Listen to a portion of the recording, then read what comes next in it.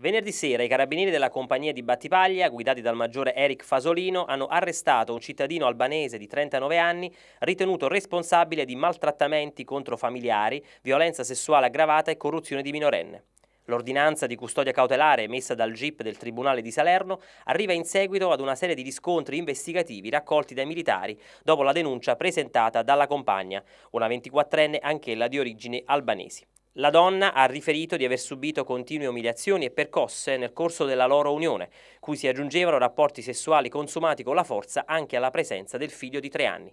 In particolare l'uomo, a partire dal 2014, aveva costretto la donna a vivere nel perenne timore di patire aggressioni fisiche e verbali, rendendole dolorosa la convivenza e realizzando nei suoi confronti una condotta di sopraffazione sistematica, anche attraverso violenze sessuali. Il 39enne, dopo le formalità di rito, è stato rinchiuso nel carcere di Forni, mentre la donna ed il figlio sono stati trasferiti in località protetta.